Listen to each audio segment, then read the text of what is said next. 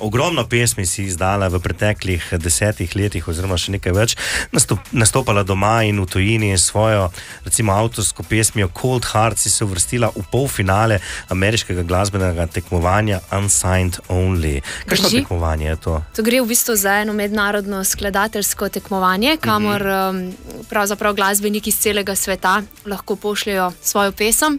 Zelo sem ponosna na ta uspeh. Bila sem edina slovenka in ena redkih glasbenic iz Evrope, no, ki se je uvrstila v ta ožji krok.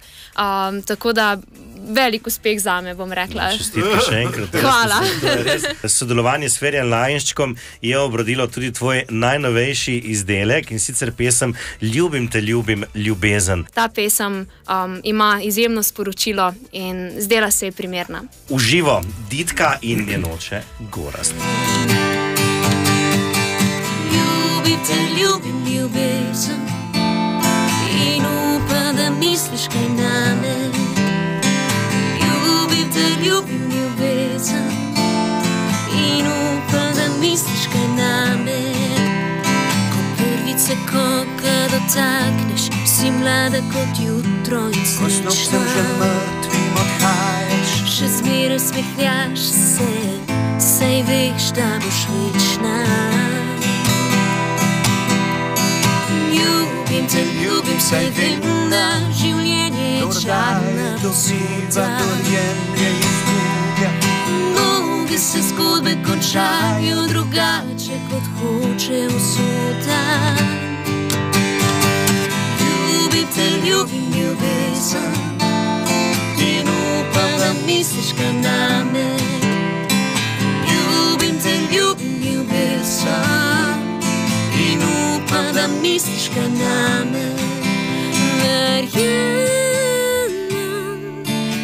slišiš molitve, a Bog so ti všeč serenade.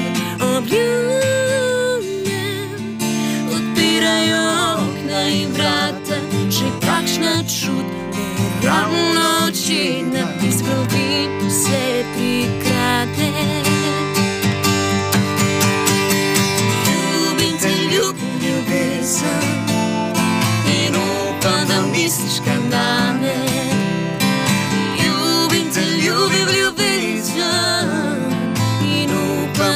Στις και να